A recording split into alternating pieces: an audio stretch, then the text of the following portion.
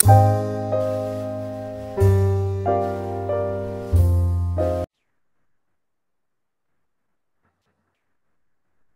So dear students তাহলে আজকে আমাদের আলোচনার বিষয় হচ্ছে কোয়ারেন্স এবং কোয়েশন তাহলে কোয়ারেন্স এবং কোয়েশনস নিয়ে আমাদের প্রায় অনেক প্রবলেম ফেস করতে হয়, ঠিক আছে? এবং এই বিষয়টা খুবই গুরুত্বপূর্ণ, বিশেষ করে যারা অ্যাডভান্স রাইটিং শিখছেন বা শিখবেন তাদের জন্য যেমন গুরুত্বপূর্ণ, আর এই বিষয়টা আসলে বিশেষ করে আইএলস পরীক্ষা যারা দেয় আইএলস এর পূর্ণরূপ তো জানেন আপনারা যে international English language testing system যারা এই আইএলস পরীক্ষা দেয় তাদের রাইটিং সেকশন আছে, আমরা জানি চারটা মডিউল আছে। চারটা মডিউল হচ্ছে কি কি speaking module writing module reading module listening module writing মডিউলের ক্ষেত্রে যে বিষয়টা দেখা হয়, সেটা হচ্ছে আপনি কতটুকু ভালো লিখেন। এবং আপনার লেখার মধ্যে, আপনার এসের মধ্যে বা কম্পোজিশনের মধ্যে কোয়ারেন্স এই যে কোয়ারেন্স বিষয়টা আছে, আমাদের এই কোয়ারেন্স এই কোয়ারেন্সটা আছে কিনা, পরিপূর্ণভাবে কোয়ারেন্সগুলো আছে কিনা সেই বিষয়টা দেখা হয় মূলত আইএলস পরীক্ষাগুলোতে ঠিক আছে? তো কোয়ারেন্স মানে হচ্ছে অ্যাকচুয়ালি সম্মতি মানে সঙ্গতি আর কি।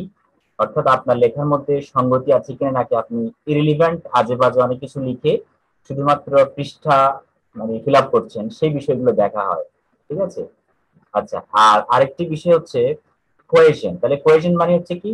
আপনার প্রত্যেকটা লেখার সাথে মানে একটা সেন্টেন্সের সাথে বাকি সেন্টেন্সগুলোর মধ্যে কোনো সংযোগ আছে কিনা কানেকশন আছে কিনা, সেটাকে বলা হচ্ছে কোয়েশন আচ্ছা তাহলে আমরা যদি, আমরা এখানে একটু যদি লিখি কোয়ারেন্স এবং কোয়েশন মানেটা কি? ওকে? বাংলাটা আসছে না। আচ্ছা যাই হোক। তো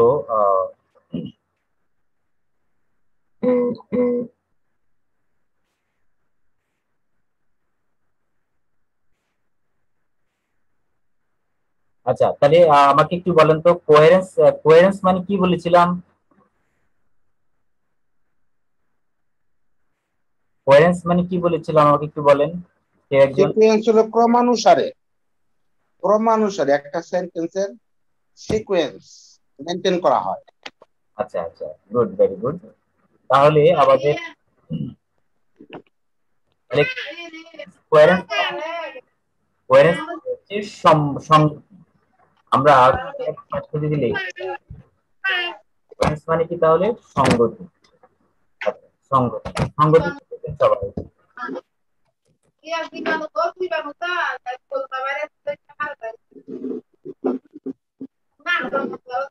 আচ্ছা আপনারা একটু কাইন্ডলি মিউট করে রাখবেন, ঠিক আছে? সঙ্গতি তাহলে কোয়ারেন্স মানে হচ্ছে কি সঙ্গতি আর কোয়ারেন্স মানে কোয়েশন মানে কি? এবার একজন কোয়েশন বলেন তো? কোয়েশন মানে কি? কোয়েশন মানে হচ্ছে সংযোগ মানে কানেকশন অর্থাৎ কানেকশন ঠিক আছে? আমি কানেকশন লিখে ফেলেছি কানেকশন মানে সংযোগ। তাহলে একটা হচ্ছে কোয়ারেন্স মানে সঙ্গতি আর আরেকটা হচ্ছে কানেকশন বা সংযোগ। এই দুইটা বিষয়ে আমরা দেখব এখন এই দুইটা বিষয়ে কীভাবে আমাদেরকে লেখার মধ্যে ফুটি তুলতে হয় সেটা এক্সাম্পল সহকারে আমরা দেখব। তো আমরা এখন এই যে দেখতে পাচ্ছেন আপনারা আচ্ছা আমাদের আমাদের রেকর্ড কি চালু হয়েছে? রেকর্ড হচ্ছে? হচ্ছে। তো যাই হোক এই যে একটা সেন্টেন্স আমরা, বিশাল একটা সেন্টেন্স আমরা দিয়েছি এই সেন্টেন্সের মধ্যে একটা হচ্ছে মেইন ক্লজ এবং আরেকটি হচ্ছে সাবঅর্ডিনেট ক্লজ তো মেইন ক্লজটা একটু খেয়াল রাখেন, এই যে মেইন ক্লজের মধ্যে প্রথমে আমরা একটা নাউন ফ্রেজ দেখতে পাচ্ছি, যেমন অ্যান অক্টোপাস অক্টোপাস তো আপনারা জানেন, এটা একটা প্রাণী সমুদ্রে থাকে, যার আটটা পা থাকে। এটা একদম সবাই জানেন। তারপর সেকেন্ড যেটা রয়েছে ছোট্ট একটা ভার্ব রয়েছে ইজ ভার্ব এবং এরপর একটা নাউন ফ্রেজ রয়েছে, এই যে নাউন ফ্রেজ হচ্ছে এটা অ্যান এয়ারফিল্ড কার্টেন তাহলে কার্টেন মানে হচ্ছে কি? পর্দা। যেটা সবাই জানেন, অর্থাৎ তার কিছু আবরণ থাকে অক্টোপাসের গায়ে যেটা একটু বায়ুযুক্ত। মানে এয়ারফিল্ড মানে কি? বায়ুযুক্ত, পরিপূর্ণ বা বায়ু দ্বারাই পরিপূর্ণ এক ধরনের কার্টেইন থাকে বা পর্দা আবরণ থাকে। এখানে পর্দা বোঝানো এটা আবরণই বোঝাচ্ছে। তাহলে অক্টোপাস হচ্ছে এমন একটি প্রাণী যে প্রাণীর মধ্যে কি থাকে? বায়ুযুক্ত বা বায়ু দ্বারাই পরিপূর্ণ এক ধরনের আবরণী থাকে। আচ্ছা এটা গেল নাউন ফ্রেজ এটা হচ্ছে নাউন ফ্রেজ এবং এরপরে হচ্ছে প্রেপোজিশনাল ফ্রেজ রয়েছে একটা, যেমন উইথ সেভেন হেডস তার সাতটা মাথা থাকে এবং থ্রি স্পাইক থ্রি ফিঙ্গার্স থাকে। ঠিক আছে? তো এই মাথাওয়ালা এক ধরনের এবং তিনটা স্পাইক থ্রি ফিঙ্গার্স অর্থাৎ মানে ফিঙ্গার্স তো আঙ্গুল আছে, আঙ্গুলগুলো কেমন স্পাইকের মতো। তিনটা স্পাইকওয়ালা এরকম আঙ্গুল থাকে। আচ্ছা তো এখান থেকে শুরু করে একদম এই যে পুরাটা একদম, এখান থেকে শুরু করে পুরাটাই হচ্ছে এক ধরনের ক্লজ এটা একটা ক্লজ এই ক্লজটাকে আমরা মেইন ক্লজ বলি। আচ্ছা মেইন ক্লজ এটাকে মেইন ক্লজ বলা হচ্ছে। মেইন ক্লজ হচ্ছে সাবঅর্ডিনেট ক্লজ আমাদের নিচে যে ক্লজটা আছে, এটাকে বলা হচ্ছে সাবঅর্ডিনেট ক্লজ এবং এই সাবঅর্ডিনেট ক্লজও কিন্তু সেখানে একটা মার্কার দিয়ে শুরু হয়েছে। এবং হুইচ হুইচ হচ্ছে কি? তাহলে একটা মার্কার যেটা সাবঅর্ডিনেটর আমরা বলে থাকি। এটার নাম হচ্ছে সাবঅর্ডিনেটর এবং এরপর একটা ভার্ব আছে। দেখেন, এই ভার্বটা হচ্ছে কি? পোক পোক মানে হচ্ছে অনেক সময় খোঁচা দেয়। হ্যাঁ খোঁচা দেওয়ার কোনো কিছু পোকিং করা। অর্থাৎ সেই মানুষকে খোঁচা দেয় কিংবা মানুষকে আঘাত করে। হ্যাঁ এবং এটা প্রেপোজিশনাল ফ্রেজ বলা হয়েছে ইন ফ্রিলস এন্ড ফলস তাহলে ফ্রিলস এন্ড ফলস মানে কি? খুব চমৎকার। তার যেহেতু অনেকগুলো, এই যে এখানে হুইচ বলতে কাকে বোঝাচ্ছে? আমাকে এই বিষয়টা বুঝতে হবে। হুইচ বলতে কাকে বোঝায়? এই যে আমাদের আগের সেন্টেন্সের মধ্যে ফিঙ্গার্স রয়েছে ফিঙ্গার্স সুইচ বলতে ফিঙ্গার্সগুলো বোঝাচ্ছে। এই ফিঙ্গার্সগুলো অনেকটা ফ্রিলস এবং ফালস মতো, অর্থাৎ ফ্রিলস এন্ড ফালস মানে হচ্ছে ওই যে ঝালর আছে না, যেগুলো সাজানো হয় বিভিন্ন আগে বিয়ে বাড়িতে বা বিভিন্ন অনুষ্ঠানে ঝালর দিয়ে সাজানো হতে, এগুলোকে বলা হয় ফ্রিলস আর ফার্স্ট মানে কি অনেকটা দুমড়ানো মুচড়ি অর্থাৎ তারা মানে তারা দাঁড়াতে পারে না। আমরা জানি অক্টোপাস কখনো দাঁড়াতে পারে না, তাদের কোনো মেরুদণ্ড নাই। হ্যাঁ তো তারা কীভাবে হাঁটে? তারা অনেক সময় গড়িয়ে গড়িয়ে চলে। ঠিক আছে, এই বিষয়টাকে দুমড়ানো মুচড়ানো বলা হচ্ছে আর কি। ফার্স্ট মানে হচ্ছে দুমড়ানো মুচড়ানো। তাহলে এরকম সুন্দর ঝালর যুক্ত থাকে এবং অ্যাট রিবন স্ট্রুড বাটনস এবং সেখানে অনেকগুলো বাটনস থাকে যেগুলো অনেকটা রিবনের মতো। রিবন মানে হচ্ছে এক ধরনের ফিতাওয়ালা যেটাকে আমরা রিবন বলে থাকি। আর স্ট্রুড মানে কি? স্ট্রুড মানে হচ্ছে যে অনেকটাই ছড়িয়ে থাকা। তাহলে ছড়িয়ে থাকা এক ধরনের বাটন বাটন যুক্ত, ঠিক আছে? লাল, রঙিন বিভিন্ন রকমের স্পট থাকে তাদের গায়ে। তাহলে এই যে বিষয়টা, পুরো একটা সেন্টেন্সকে খেয়াল রাখেন। এই সেন্টেন্সের মধ্যে আমরা কোয়ারেন্স এবং কোয়েশন আছে কিনা সেটা এখন যাচাই করব অ্যানালাইসিস করব। সেটা কীভাবে? আমরা এখন একটু দেখব আমাদের পরবর্তী যেটা রয়েছে আমাদের পরবর্তী, আমরা যদি একটু স্লাইডটা দেখি, তাহলে আমাদের জন্য ক্লিয়ার হয়ে যাবে। আচ্ছা এই বিষয়টা ওকে তাহলে আমাদের পরবর্তী স্লাইডে আমরা একটা সংজ্ঞা দেখতে পাচ্ছি। দেখেন, সংজ্ঞাটা খুবই সুন্দর। বলা হচ্ছে it's important for the parts of written text to be connected together তাহলে সবসময় রাখবেন, আমরা যখন কোনো টেক্সট লিখি, তখন সর্বদা সবসময় কি থাকবে? প্রত্যেকটা সেন্টেন্স প্রত্যেকটা আইডিয়া কানেক্টেড থাকতে হবে। কানেকশন ছাড়া আসলে ভালো কোনো রাইটিং হতে পারে না। তো এখানে এই কানেকশনটাকে আমরা কোয়েশন বলি। কি বলি? কোয়েশন বলি। আমরা একটু আগে বলেছিলাম কোয়েশন মানে হচ্ছে কোনো কিছু কানেক্ট করা মানে সংযোগ সাধন করা। আচ্ছা তো this word comes from the verb যে কোয়ের থেকে আসছে, কোয়ের হচ্ছে একটা ভার্ব যেটার অর্থ হচ্ছে কি, কোনো কিছু কানেক্ট করা টু কানেক্ট সামথিং বা আমরা বলতে পারি টু স্টিক টুগেদার কোনো কিছুকে একসাথে জোড়াতালি দেওয়া বা জুড়িয়ে দেওয়া, এটাকে বলা হচ্ছে কোয়েশন আচ্ছা এবং এখানে মজার বিষয় হচ্ছে related to ensuring that the words and sentences you use stick together আপনি যে বাক্য বা যেই আইডিয়াগুলো আপনি লিখবেন, ধারাবাহিকভাবে সেই আইডিয়াগুলো কি থাকতে হবে? স্টিক টুগেদার মানে সেগুলো সবসময় রিলেটেড থাকতে হবে। আপনি বললেন সাপোজ ধরেন আপনি আপনার পরিচয় দিচ্ছেন যে my name is X Y Z I am a student and I am learning English ঠিক আছে? ফ্রম স্কুল আপনি এভাবে দিলেন, আপনার কাছে পড়ানা দিচ্ছেন। এর মধ্যে হঠাৎ করে কি আপনার ফাদারের বিষয় চলে আসলো, আপনার মাদারের বিষয় চলে আসলো, অথবা আপনার ফ্যামিলির কোনো বিষয় চলে আসলো, তাহলে এই বিষয়গুলো আসলে সঙ্গতিপূর্ণ নয় ওই টপিকের ক্ষেত্রে। সেজন্য আমাদের সবসময় কি থাকতে হবে? একটা কানেকশন থাকতে হবে। হ্যাঁ আপনি চেঞ্জ করতে পারবেন আপনার টপিকটা আপনি আপনার ব্যক্তিগত পরিচয় থেকে ধীরে ধীরে আপনার ফ্যামিলি দিকে যেতে পারবেন। তো যেতে গেলে কি হয়? আমাদের কিছু কানেক্টরস ইউজ করতে হবে। ওই কানেক্টরসগুলো ব্যবহার করলে তবেই আপনার লেখাটা সঙ্গতিপূর্ণ হয় এবং কোয়েসিভ হয় আর কি। এরকম অনেকগুলো কোয়েসিভ ডিভাইস আছে, আমরা একটু দেখব, যেগুলোকে আমরা ট্রানজিশন মার্কারও বলে থাকি। সেগুলো আমরা দেখব ধীরে ধীরে। আমরা ধীরে ধীরে দেখে দেখেই শিখব। ঠিক আছে? তো আমাদের এই যে কোয়ারেন্সগুলো আছে, এই কোয়ারেন্সগুলো ডেভেলপ করার জন্য আমাদের এই ছয়, এই পাঁচটি বিষয় আমাদের মনে রাখতে হবে। এক হচ্ছে এক হচ্ছে রিপিটেড ওয়ার্ডস ঠিক আছে? রিপিটেড ওয়ার্ডস ওকে আপনারা দেখতে পাচ্ছেন অবশ্যই। এক হচ্ছে রিপিটেড ওয়ার্ডস বা আইডিয়াস হতে পারে যে কোনো ওয়ার্ডস ওয়ার্ডস বলতে এখানে বাক্য বোঝাচ্ছে আর কি। আর সেকেন্ড হচ্ছে রেফারেন্স ওয়ার্ডস অনেকগুলো রেফারেন্স ওয়ার্ডস আমরা আমাদের রাইটিং এ অ্যাডভান্স রাইটিং এ দিয়ে থাকি। আচ্ছা ট্রানজিশনাল সিগন্যালস অনেকগুলো রয়েছে বা মানে এগুলোকে আমরা অনেক সময় এই যে কোয়েসিভ ডিভাইস বলি।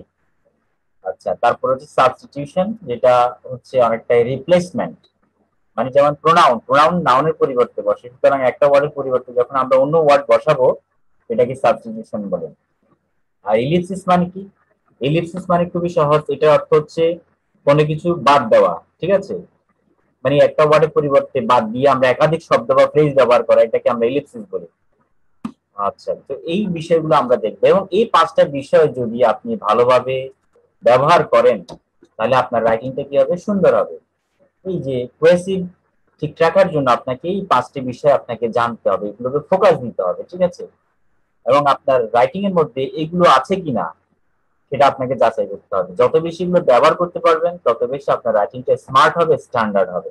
তো আমরা এখন চলে যাব রিপিটেড ওয়ার্ডস কিংবা আইডিয়াসটা আমরা একটু দেখব এক্সাম্পলটা আচ্ছা তো সবাই একটু দেখেন।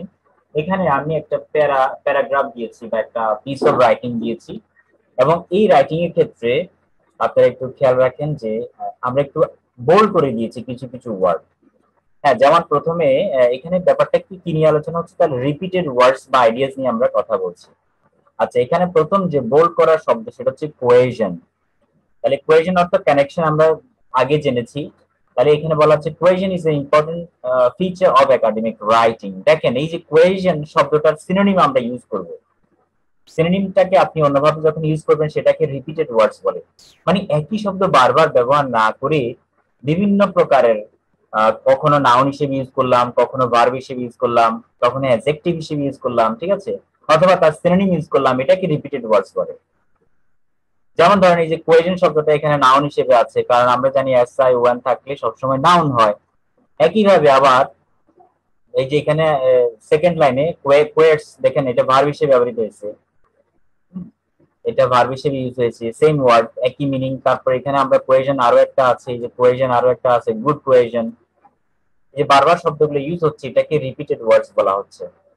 হ্যাঁ আবার যেমন ধরেন রাইটিং রাইটিং শব্দটাও কিন্তু অনেকবার ব্যবহৃত হচ্ছে। যেমন ধরেন এখানে রাইটিং শব্দটা প্রথমবার আছে ফার্স্ট লাইনে দেন সেকেন্ড লাইনে আমরা এই যে রাইটিংটা আবার ইউজ করেছি, অথবা রাইটিং এর পরিবর্তে আমরা এসে আর রিপোর্ট ইউজ করেছি। এগুলো কিন্তু অনেকটাই রিপ্লেসমেন্ট বা রিপিটেড ওয়ার্ডস ঠিক আছে? ভিন্নভাবে উপস্থাপন করছি আর কি। যেমন আমরা এই যে থার্ড লাইনে আমরা এসে অথবা এই যে এসে অথবা রিপোর্ট লিখছি, এটা কিন্তু রাইটিং এর একটা সিনোনিমস রাইটিং যে কথা এসে আর রিপোর্ট একই কথা। আচ্ছা তারপরে ইম্পর্টেন্ট ফিচার্স রয়েছে, দেখেন কেমন ইম্পর্টেন্ট ফিচার্স এখন এই ফিচার শব্দটা কিন্তু মোটামুটি আরেকবার আসছে, এবং কি ফিচার্স এই ইম্পর্টেন্ট ফিচারটাকে আমরা একটা নাম দিয়েছি, কি ফিচার্স এটা ফোর্থ লাইনে দেখেন।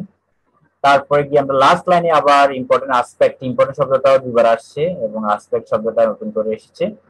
তাহলে এই বিষয়গুলো একটু খেয়াল রাখবেন। বোল্ড করার যে ওয়ার্ডগুলো আছে, সেই ওয়ার্ডগুলো হচ্ছে একটা আরেকটার পরিপূরক বা সিনোনিমাস এগুলোকে রিপিটেড ওয়ার্ডস বা আইডিয়াস বলা হচ্ছে। এটা খুবই গুরুত্বপূর্ণ এবং আমাদের এটা মেনটেন করতে হবে সবসময় রাইটিং এর, লেখার ক্ষেত্রে।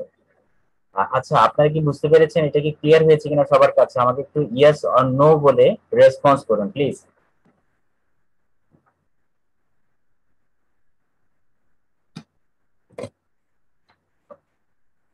আমাকে একটু ইয়েস অর নো বলে একটু রেসপন্স করুন প্লিজ কে একজন রেসপন্স করুন? স্যার বুঝতে পারছি স্যার। আচ্ছা। ওকে ওকে ওকে থ্যাংক ইউ তাহলে বুঝতে পারলে আমরা মোটামুটি পরের স্লাইডে চলে যাব আমরা। আমাদের পরের যে স্লাইডটা রিপিটেড ওয়ার্ডস এর পরে আসবে। রেফারেন্স ওয়ার্ডস রেফারেন্স ওয়ার্ডস কি জিনিস? দেখেন এটাও মোটামুটি সোজা। রেফারেন্স তো বোঝেন আপনারা। রেফারেন্স মানে হচ্ছে আমরা অনেকগুলো প্রোনাউন ব্যবহার করে থাকি কোনো একটা প্যারাগ্রাফের মধ্যে। যেমন প্রোনাউন বলতে কীরকম, আমাদের এখানে বোল্ড করা অংশগুলো একটু ভালোভাবে যদি পর্যালোচনা করেন, তাহলে আপনারা বুঝতে পারবেন যে এই যে ইট শব্দটা এখানে আছে। হ্যাঁ প্রথমে মানে আমি যে প্যাসেজটা দিয়েছি, এটা সেম প্যাসেজ সব ক্ষেত্রে সেম হবে। এখানে কি বলা হচ্ছে? Cohesion is important feature of academic writing it can help এই যে ইট বলতে কাকে বোঝাচ্ছে, এই বিষয়টা আমাদের একটু ক্লিয়ার থাকা প্রয়োজন আছে। তাহলে ইট বলতে কাকে বোঝাচ্ছে? ইট বলতে কোয়েশনকে মিন করছে। তাহলে এখানে ইটটা কি হিসেবে ইউজ হয়েছে? একটা প্রোনাউন হিসেবে ইউজ হয়েছে। এবং এটা কাকে রেফার করছে? এটা সম্পূর্ণভাবে তার পূর্বের যে ওয়ার্ডটা আছে, অনেক আগের যে ওয়ার্ডটা আছে, সেই ওয়ার্ডটাকে মিন করছে। তাহলে আমরা যদি এই এইটাকে মিন করছে, এই যে এখানে কোয়েশনকে মিন করছে, ঠিক আছে? আবার যেমন ইটের পরে আমাদের রয়েছে কি? হুইচ এই হুইচ শব্দটা আমাদের রয়েছে। হুইচ শব্দটা এখানে ব্যবহৃত হয়েছে। এটাও কিন্তু একটা প্রোনাউন ঠিক আছে? তো আমরা এটা রিলেটিভ প্রোনাউন বলি এবং তার আগে যে শব্দটা আছে, এখানে হুইচ কাকে রেফার করছে? সেম সেম জিনিস। আমরা একটু আগে যেটা বলেছিলাম যে কোয়েশনকে রেফার করছে, এটাও কিন্তু সেম কোয়েশনকে রেফার করছে। আপনি মনে মনে ইটের জায়গায় কোয়েশন বসাইতে পারেন বা হুইচের জায়গায় কোয়েশন বসাইতে পারেন। তাহলে কি হবে? যদি ইটের জায়গায় বসে, তাহলে হবে it cohesion can help ensure ensure that your writing words or sticks together Question will make it easier for the reader to follow the main ideas in your essay or report. তাহলে এখানে হুইচের জায়গায় আপনি মনে মনে question বসাবেন? তাহলে আপনার মিনিংফুলটা হবে এবং মিনিংটা বুঝতে খুব সহজ হয়ে যাবে। তাহলে এই যে প্রণামগুলো আমরা ব্যবহার করছি, এগুলোকে মূলত আমরা রেফারেন্স বলে থাকি আর কি রেফারেন্স ওয়ার্ডস এই যেমন এখানে দিসটা একটা প্রোনাউন ঠিক আছে? তাহলে এই দিসটা আমরা কাকে মিন করছি আপনাকে বুঝতে হবে। তাহলে এই দিস বলতে আমরা অনেকগুলো এসে অর রিপোর্ট বোঝাচ্ছে, তাই না? You can achieve good cohesions by paying attention to five important features আচ্ছা। হ্যাঁ ভেরি গুড এই যে ফাইভ ইম্পর্টেন্ট ইম্পর্টেন্ট ফিচার্স কি মিন করছে? তাহলে আমাদের, আমাকে একটু বলুন যে এখানে দিস বলতে যেহেতু এটা প্লুরাল কাকে মিন করছে? বা কাকে রেফার করছে?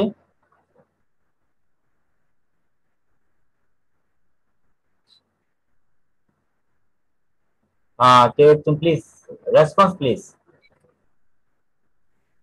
স্যার, এখানে ফাইভ ইম্পর্টেন্ট ফিচার আচ্ছা আচ্ছা। Thank you Shubhade. এবং হ্যাঁ এখানে দিস আমাদের এই ফাইভ ইম্পর্টেন্ট ফিচার্স কে রেফার করছে বা বোঝাচ্ছে, ঠিক আছে?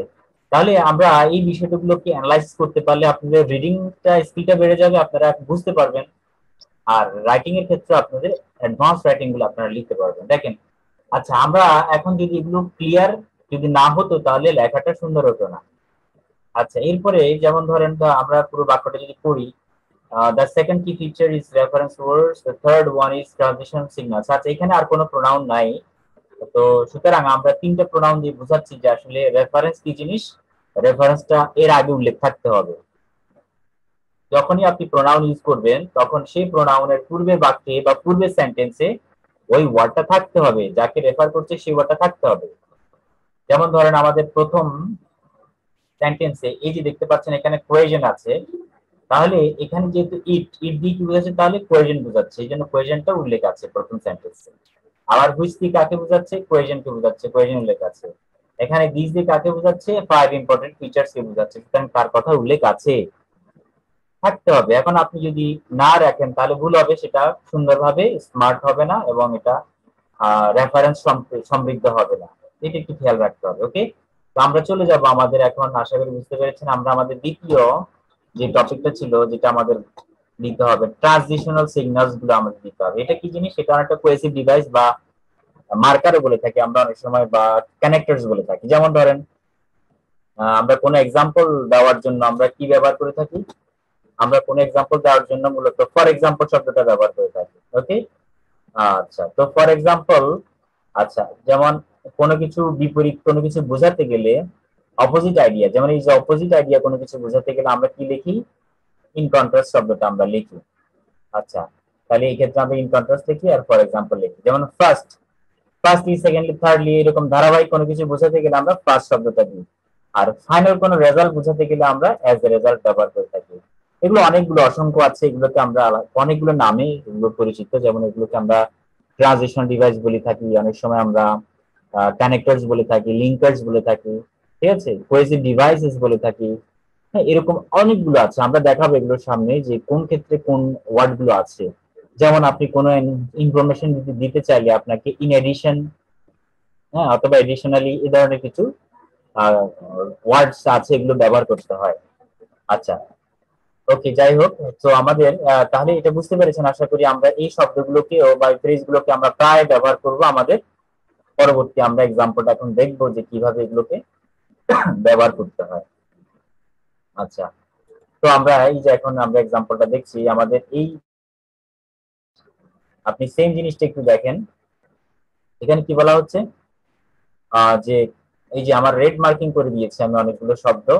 এই রেড মার্কিংটাকে একটু যদি খেয়াল করেন, তাহলে জিনিসটা ক্লিয়ার হয়ে যাবে আপনাদের। যেমন এখানে বলা হয়েছে first the first of these is repeated words আচ্ছা ফার্স্ট এর পরে ধারাবাহিক সিকোয়েন্সিয়াল ওয়ার্ড বলে, এগুলোকে সিকোয়েন্স দেওয়ার জন্য আমাদের ধারাবাহিক বোঝার জন্য second key features third key features fourth key feature আর একটা হচ্ছে কি ফাইনাল তাহলে আমাদের এখানে পাঁচটা পাঁচটা ওয়ার্ড আমরা এখানে ব্যবহার করেছি এবং এই ওয়ার্ডস গুলোকে বলা হচ্ছে আপনার কোয়েসিভ ডিভাইস অথবা এগুলো ট্রানজিশনাল ডিভাইস বলে থাকে এটা সিকোয়েন্স বোঝানোর জন্য। ধারাবাহিক, যেমন আপনি একটা চা তৈরি করলেন, সেই চা তৈরি করার জন্য আপনাকে কি করতে হবে?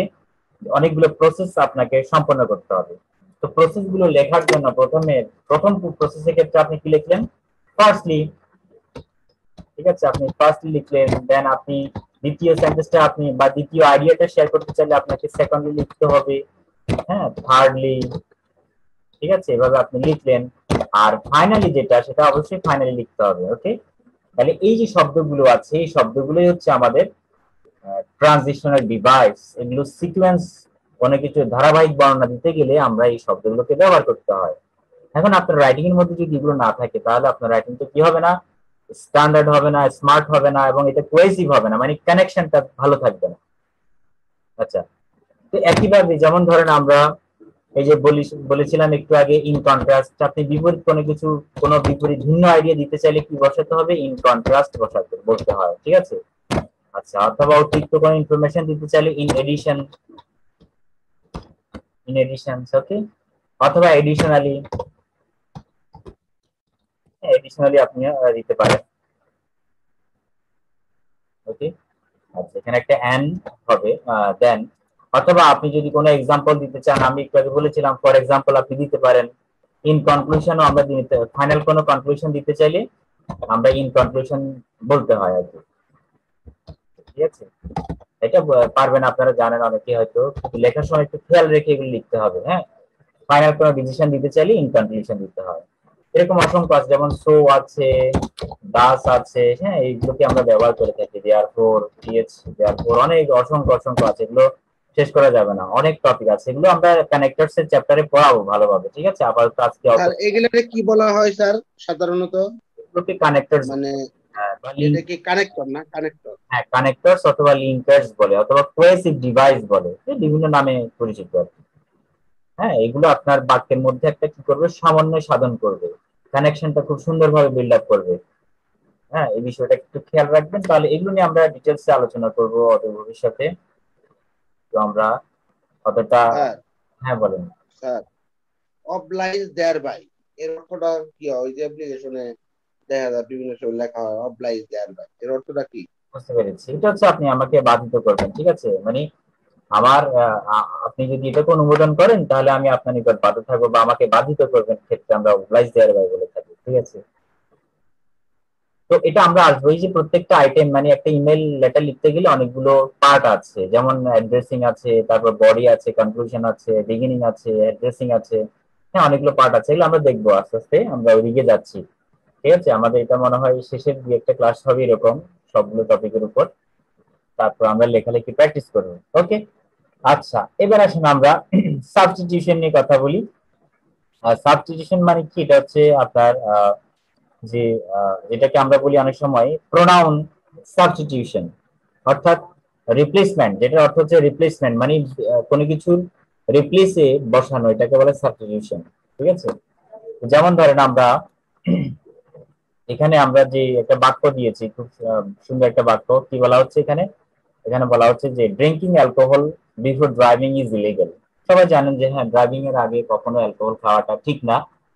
এভাবে ড্রাইভিং হলে রিস্কি হয়ে যায়, ঠিক আছে? ইন মেনি দেখেন, এখানে কমা দেওয়ার পরে আপনাদেরকে অবশ্য আমি পাঞ্চুয়েশন ক্লাস নিয়েছি, আপনারা জানেন কোথায় কমা দিতে হয়, কোথায় ফুল স্টপ দিতে হয়, ঠিক আছে? এগুলো আপনারা জানেন। আচ্ছা যাই হোক, তো ওখানে আমরা সিন্স আমরা ইউজ করছি। সিন্স এর পরে বলা হচ্ছে ডুইং সো ডুইং সো দিয়ে doing so seriously can seriously impair one's ability to drive safely তাহলে আমাদের আমরা যদি ড্রিঙ্কিং করি অ্যালকোহল নিই, আমরা ড্রাইভিং এর পূর্বে তাহলে ওগুলো আমাদের কি হয়? সিরিয়াসলি আমরা একটা সেফলি ড্রাইভিং করতে পারি না আর কি। আচ্ছা ইম্পেয়ার মানে কি? অনেকটাই আমরা, আমাদের এবিলিটিটাকে আমরা ধ্বংস করে ফেলি, ঠিক আছে? আচ্ছা বা নষ্ট হয়ে যায়। আমরা সুষ্ঠুভাবে ড্রাইভিং করতে পারি না। অনেক সময় আমাদের ফ্রিকশন হয়ে যায় রিকলেসলি ড্রাইভিং হয়ে যায় মানে ব্যাপরা ড্রাইভিং হয়ে যায় আর কি।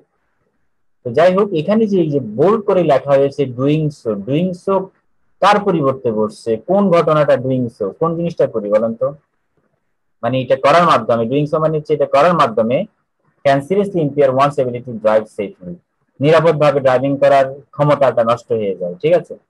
তাহলে ডুইং সো কাকে ইন্ডিকেট করছে? আমাকে একটু কেউ বলেন প্লিজ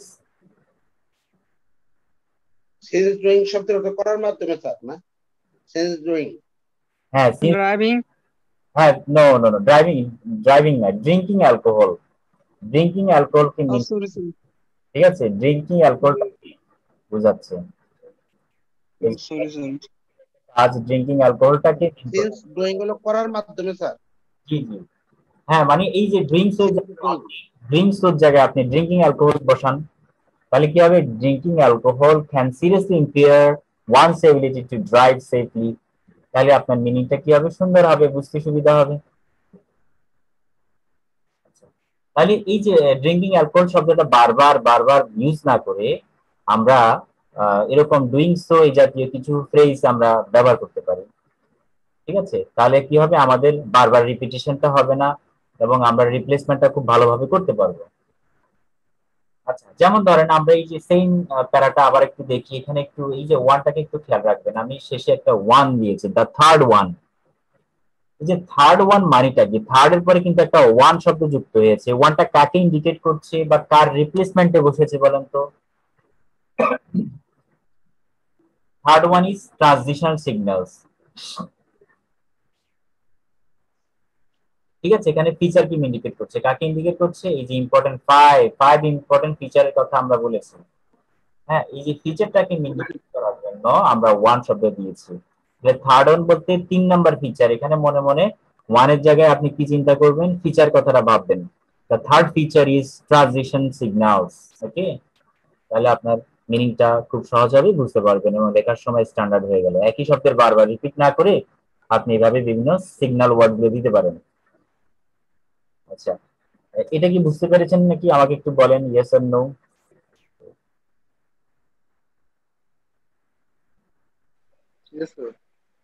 আচ্ছা ভেরি গুড আমাদের টাইমটা এক্স্যাক্টলি আসলে খুব ফর্টি আচ্ছা ফর্টি টু মিনিটস আমাদের চলছে। আমি জানি না, আজ ফর্টি মিনিটস পরে অবশ্য অফ হয়ে যাওয়ার কথা। মনে হয় আজকে খুব টাইম দিচ্ছে। সরি ওয়ান মিনিট আছে আমাদের। এক মিনিট পরে হয়তো বন্ধ হয়ে যাবে। আপনারা আবার সেম লিঙ্কে জয়েন করবেন ওকে আচ্ছা তো চলুন আমরা আমাদের পরবর্তী যে আলোচনাটা আছে, একটু দেখি তাহলে ইলিপসিস ইলিপসিস মানে কি? দ্য লাস্ট ওয়ান আমরা ইলিপসিস সম্পর্কে একটা আইডিয়া নিয়েছিলাম। ইলিপসিস মানে কি? তাহলে ইলিপসিস মানে হচ্ছে কোনো কিছু কি করা? ত্যাগ করা বা কোনো কিছু বাদ দেওয়া আর কি লিভিং আউট ওয়ান ঠিক আছে? কোনো একটা ওয়ার্ডকে বাদ দিয়ে দেওয়া। যেমন ধরেন আমরা সেম এক্সাম্পলটা আরেকবার দেখি, যে এখানে বলা হচ্ছে পুরো আর্টিকেলটা আবার আছে এবং লাস্টে একটু খেয়াল রাখেন। এখানে লাস্টে কি বলা হয়েছে? লাস্টে বলা হচ্ছে the fourth is the fourth one শব্দটা আর নাই কিন্তু। আমরা থার্ড ওয়ান ফোর্থ ওয়ান আমরা দিয়েছিলাম আগে সেন্টেন্সে বা থার্ড ফিচার ফোর্থ ফিচার এখানে ফিচার না দিয়ে আমরা ফিচারটাকে পুরোটাই বাদ দিয়ে দিয়েছি সমিট করে দিয়েছি। শুধুমাত্র দা ফোর্থ শব্দটা আমরা ইউজ করেছি দা ফোর্থ হ্যাঁ? আচ্ছা এই যে থার্ড ওয়ান এখানে ওয়ান ওয়ান শব্দটা ছিল বাট এখানে কিন্তু ওয়ান শব্দটা নাই। শুধুমাত্র দা ফোর্থ বলা হচ্ছে এবং এরপরে সরাসরি ইজ দেওয়া হয়েছে। তাহলে এটা কিন্তু একদম এলিপসিস এর এক্সাম্পল এলিপসিস মানে কি? টোটালি বাদ দিয়ে দেওয়া। কোনো একটা ওয়ার্ড বাদ দিয়ে চিন্তা করা, সেটাকে এলিপসিস বলা হয়ে থাকে। আচ্ছা যাই হোক তো আমরা আমাদের হয়তো অফ হয়ে যাবে এখন আই এম নট শিওর আচ্ছা এই বিষয়টা বুঝতে পেরেছেন কিনা আমাকে একটু বলেন সবাই।